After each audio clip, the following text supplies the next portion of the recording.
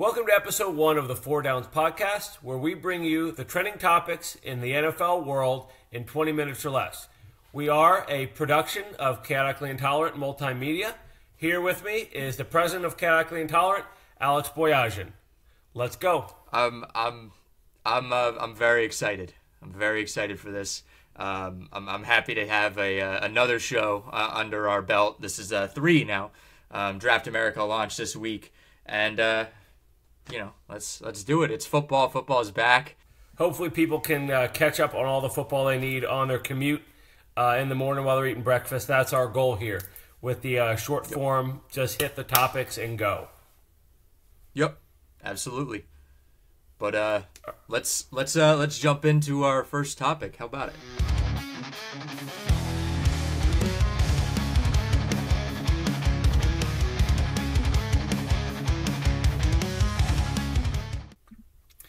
So uh, let's recap Buffalo versus Miami. Um, obviously, uh, in this game, unfortunately, Tua Tagovailoa did suffer the third serious concussion of his career. There are questions uh, about how he goes forward, how the Dolphins handle him um, here on out. However, I do want to talk more about the Buffalo Bills offense. Week one, they pulled it out with Josh Allen uh, handling a lot of the work with his legs at the goal line. This week, it was the James Cook show. He looks like LaDainian Tomlinson. Um, a lot of usage with his legs. He caught a touchdown through the air on top of his two rushing touchdowns. We have not seen the Dalton Kincaid or Keon Coleman breakout. Um, many people were anticipating that they would come in and fill in the role or the void filled by Stefon Diggs and Gabriel Davis leaving. However, we have not seen that, and Josh Allen um, only 190 some odd passing yards um, on limited attempts with his arm. So, my question to you is what does this offense look like going forward the rest of the year? Is it going to be ride the hot hand? Are we going to see a big James Cook season? What are your thoughts? Well, the the hand injury um, to to Allen, they they were a little. I, I think they lent or leaned on James Cook because of that, because of the hand injury. They want to be careful with him. Of course, you want to be careful with him. That's that's the intelligent thing to do. Josh Allen is not smart with his body. I think we all know that. Um, so it is up to the coaches to make sure he is smart with his body. Um, I, I would look I would look to to see a lot more from James Cook over the coming weeks as Allen recovers from that hand injury. But I think as we get later into the season, it, it's going to be the Josh Allen show again, which that's Buffalo's identity. I think they are going to rely on the ground a lot more though, compared to the Pats, because you don't have those. You know, Gabe Davis was your real deep threat. He was he was your more of your streaking type of guy and you have Stefon Diggs who just pretty much did everything for them. You don't have those guys there anymore. You have Dalton Kincaid. You have um, Khalil Shakir. Like those are your guys. Now you have James Cook who it, we didn't expect him. I don't think a lot of Bills fans really expected last night. Um, is he going to continue that? I don't know. We'll see. Um, that's not that's not our job to uh, to predict. Um, but I, I think it's going to be a bit more of a run heavy, ground heavy game until Allen feels 100%. And I mean, that's really what it should be. I think to start the season, especially with Allen, you, you want to see a little bit more of a ground game, see what you have on the ground. And then later in the year, if you're making a playoff push, okay, now you start attacking through the air. Yeah. Uh, concerning for me, um, Keon Coleman, zero targets, um, zero yards, yeah. obviously. Or, sorry, one target, zero catches zero yards, obviously, in this game. Um, he is a guy that they were anticipating taking some of the pressure off of guys like Shakir and Kincaid, and that has not yeah. appeared to be the case. Um, but like you said, you know, they do need some time to figure out what this new offense is going to look like, minus their two biggest threats uh, through the year last year. And I do expect Josh Allen being Josh Allen to figure it out. Hopefully, it doesn't come at the cost of him trying to do too much uh, we have seen Josh Allen in recent seasons when he does try to do too much, get into some trouble with interceptions, or like you said, put his body on the line uh, unnecessarily. So hopefully, yeah. that's not the case here. This does seem like a team without Stefon Diggs, though, that is more reliant on sticking with what's working in a specific t- uh, period instead of trying to force it to Diggs, who seemed to have sort of a penchant for demanding the ball even when it wasn't in the best interest of the team. So let's see where, where this goes going forward. As a Chiefs fan, I hope Buffalo maybe takes a step back this year, but in a division that has the Jets. Obviously, did not look great uh, in my perspective. Um, you have the Dolphins now without Tua uh, for the foreseeable future. I do think the Bills could run away with this division this year. Yeah, I uh, well, obviously the Dolphins. That wasn't really something we would have expected. Um, yeah. They they did say they're going out to sign some sort of veteran quarterback. I know Tannehill's out there. Um, I wish I had my list. We, we only have like 38 seconds. Um, there, I'm sure there's some other veterans out there. Um, just go go go do something. I, I know the Browns aren't going to get rid of Jameis Winston. I would love to see Jameis Winston in Miami with Tyreek Hill. Oh my god. Oh my god. A lot of I would love to even, see even without just, success just just the comedy that would come out of that. The comedy that would come out of Jameis and Tyreek together. Think of all the celebrations they would do on the field. Yes. Oh my God. I, I love yes. it. I would love it. But Cleveland's not letting him go. There's no way you let him go, especially with what's well, what is now transpired with Watson with the legal cases. Yeah, but also just his play in general. Our next topic, we're going to talk Sunday slate, um, starting with the one o'clock games, and we're going to do as quick as possible pick each game. So I'll read off the game. Alex, why don't you make the pick this week? Maybe next week we can flip flop. Okay. Raiders going to the Ravens. Uh, give me the Ravens. Very easy. Browns visiting the Jaguars. Uh, I think this is a bounce back game for the Jags. The Browns are. Uh, I, I, said I said it last week on Chaotically Intolerant. Uh, Deshaun Watson, ever since he's been in Cleveland, looks uninspired. Even I know he had That's, personal tragedy last week he still looked uninspired even before that. Yeah, that's that's uh, taking it lightly. Uh, Jets versus Titans. Uh, give me the. I don't know, man. I'm I'm I flip flop on this one. I think I picked the Jets to win in our bets. I don't know. I, I'm kind of leaning a little bit towards Tennessee. I don't know why. Smart. That's the Tennessee. smarter pick. 49ers going up north to see the Vikings.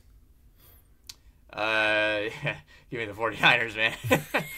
no, no CMC, uh, no CMC, but give me the 49ers anyways. They their running game still looked outstanding last week. Chargers, yeah. Panthers. I mean, is that even a competition? Do do the Chargers have the field the starters? Give me the Chargers. It's, they don't. Uh, they could field their children and still be the Panthers. Uh, Seahawks visiting the Patriots, two one and zero oh teams. Uh, you know, I, I know a lot of people are looking at at this spot as a New England um, kind of trap spot because no one expects them. I think they're I think they're expecting a, a really good defense, which is what I expected all year. I, I said they had a really good defense. Um, I'm still gonna take the Seahawks. I don't know why. I think the offense. I think they might be able. You know, who who has the better offense and who has the better defense? Pats clearly have the better, or they have the better defense. Um, I just think the offense is so much better on the Seattle side. Even without Kenneth Walker this week, I agree. Yeah. Um, Charbonnet's man, I love Charbonnet. Great name too. Yeah. Um, Marvin Gaye. Give me Charbonnet. the Cowboys. Early, Cowboys. early game, early season. Cowboys are unstoppable. Give me the Cowboys.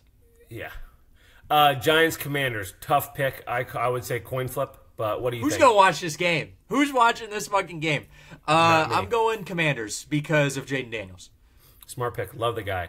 Uh, Bucs Lions. This is your favorite game. You want to come back to this at the very end? Let's come back to it. Yep. Okay. Colts Packers. I know where you're going. Uh, no, you don't. I'm going Packers because I don't trust our secondary whatsoever. It's Malik Willis. I also true. I pay, I imagine the worst when it comes to the Colts as well. So that's true. G- give me uh, a little Rams, give me a little leeway. Rams Cardinals. uh, going Rams. I know okay. it's a, it's a tight Steelers line, Broncos. Oh, sorry. Um, Steelers Broncos. Steelers. I, I still like the Steelers there. Smart. Bears Texans. Give me the Texans. It's a uh, very good offense with an average defense versus a pretty good defense and a horrible offense so far. Yeah, I don't. I think that's going to be a, a, massive blowout. And then we'll also do the uh, the Eagles and Falcons. This is in Philadelphia on Monday night. I you know what? I'm going. Uh, no, but Atlanta always kind of struggles with Philly, so I'm going Philly. Historically, okay, so they struggle with Philly. We also we did skip over the uh, Bengals and Chiefs. That is going to be our next topic, so we will come back to that as well. But you wanted uh, in about a minute and a half we got left here. You want to talk Buccaneers Lions. What intrigues you so much about that game, other than um, NFC Showdown uh, rematch from the playoffs last year? Well, the Commanders have no defense as we saw last week. They're well, not no defense, but their defense is not the best. Um, I, I do like Baker Mayfield. I was happy to see what he did. Um, there was an interesting story put up by one of our guys, Serafino, on the blog. Uh, go check out chaoticallyintolerant.com about Baker. Um, but obviously, this is a playoff rematch. I love playoff rematches. I don't like playoff rematches this early in the year. I think you're burning your playoff rematch card very early, and that would be the same thing with Chiefs Bengals. Um, same thing with Chiefs and Ravens. Chiefs well. Ravens. Yeah, um, they're burning a lot of early. They're burning a lot of rematches early. Um, but I think both teams are both teams are coming in hot. You have these teams. I think right now they're the favorites to win their division. I think that's a pretty fair thing to say because you look at the North. Who's who's in the North right now? Bears aren't really there. Um, Vikings are not. Uh, who's the other one in the North? Oh my God, I'm blanking on the North. Uh, Packers. Um, Packers. Uh, the Packers. I mean, who knows with Jordan Love? We'll see when he comes back. Um, and then the Bucs. I mean, the NFC South. Don't even get me started with the NFC South. Maybe the Saints. Maybe, but really no.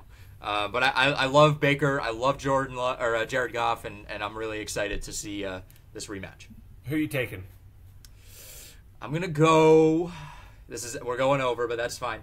I'm gonna go. I I, I see the Bucs here. I like the Bucs. I think the Lions are in for a little bit of a letdown. It was an emotional win. You know, coming yeah. out, you, you lost or you you win. You know, it's back to back wins against the Rams. Remember, and they should have um, won by a lot more. They should yeah. have beat the Rams by a lot more than they did. And, and the right, Rams were gassed in overtime. So yeah, I'm, I'm sticking with the Bucs here. So this is uh the next topic. Whenever you're ready to put it up, we can cut there oh, and then yeah, you're good. This one's gonna get emotional here. All right, our next topic. We are talking Chiefs and Bengals. Uh, as many of you viewers know, if you follow Chaotically Intolerant, I am a Chiefs fan. Um, I will try to keep my personal bias out of it, but I don't think that's going to be possible. Well, um, Bengals. Personal bias is our name. That's that's what you're supposed to be. We're not. Yeah, we're not. We're not the New York Times. We're not supposed to be unbiased. Chiefs by forty. Um, Bengals are back at it with their bullshit. Um, we have Cam Taylor Britt saying that Xavier Worthy can only run fast in a straight line. He can't do anything else. We have Ja'Marr Chase saying that the Bengals are still the team to beat in the AFC. Um, they just need to start playing like it. I don't understand the motivation behind this. You know, the Chiefs are a team that loves bulletin board material. Are the Bengals three and one against the Chiefs in the Burrow and Mahomes era? Yes, the Chiefs are the back-to-back reigning Super Bowl champions. Uh, no, the Bengals are not the team to beat in the AFC. The Chiefs are the team to beat in the NFL, uh, top to bottom. They tried this two years ago uh, before the playoffs with their Burrowhead uh, nonsense. They got their mayor involved, and that didn't work out for them.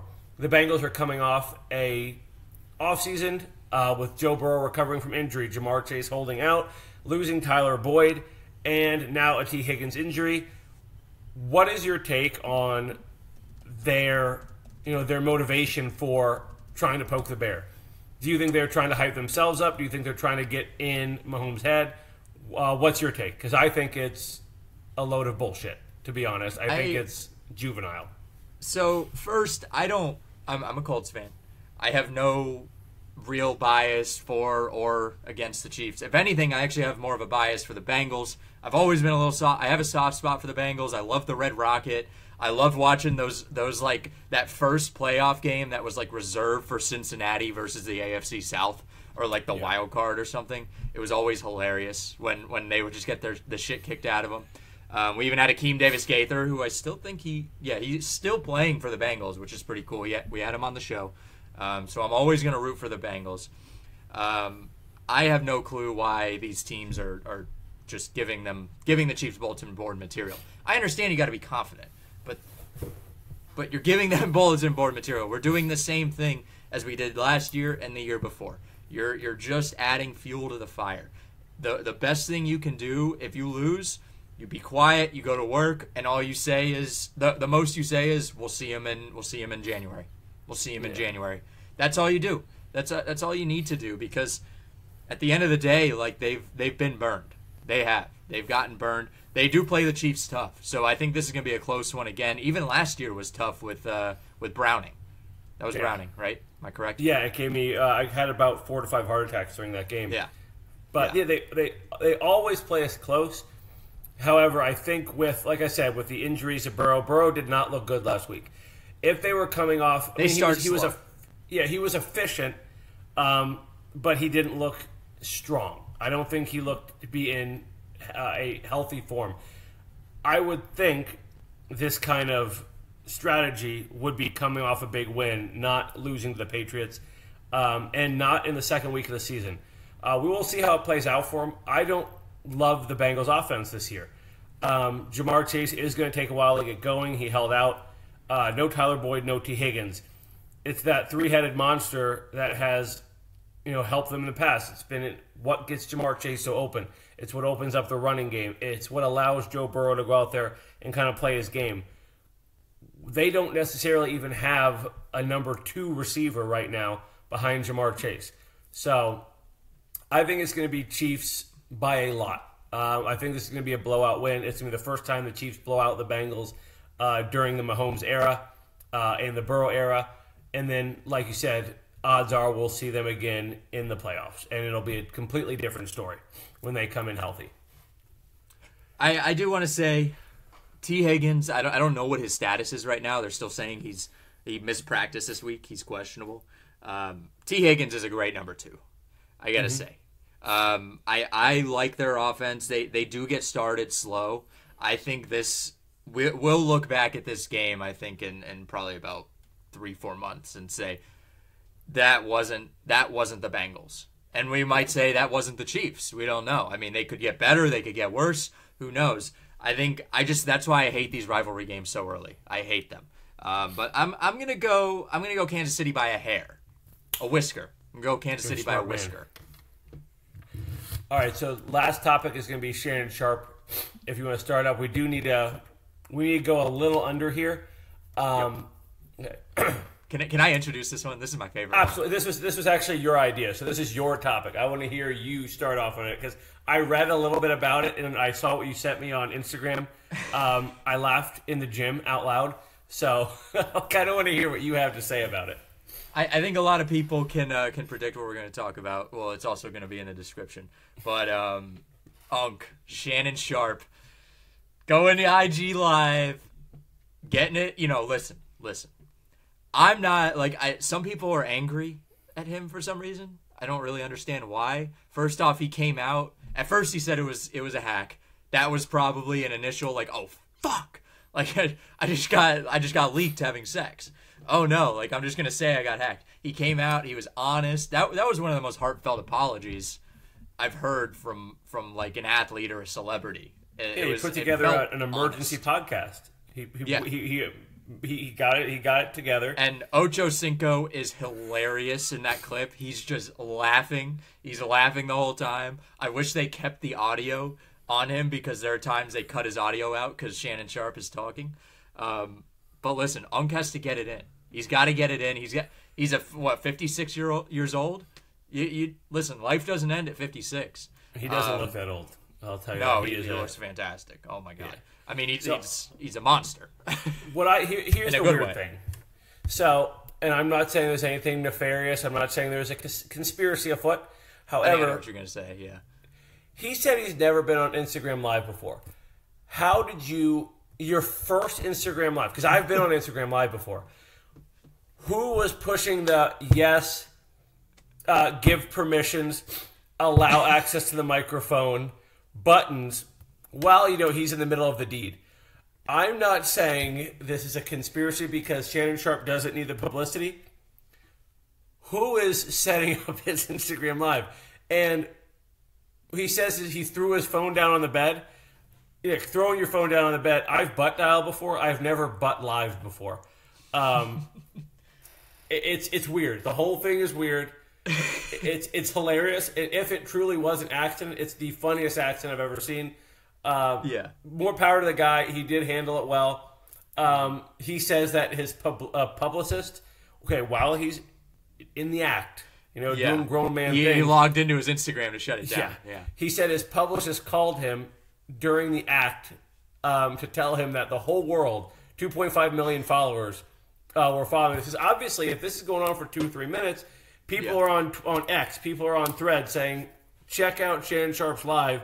He's doing it." And so people were people were watching, uh, but he, yeah, he said his boys, his publicist, uh, his agent, all ding, ding, ding, ding, ding, and he knew something was up. I don't know. It, it, it's a very strange, hilarious mistake. And if it was a publicity stunt, it did its job.